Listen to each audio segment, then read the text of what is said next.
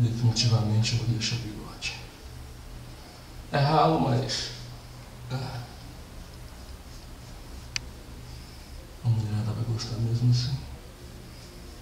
A vida tece naturalmente sua teia, onde cada um de nós é um fio dessa trama da existência.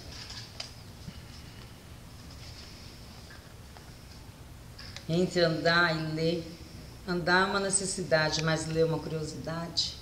Deixa eu ver como essa teia tece esse trama.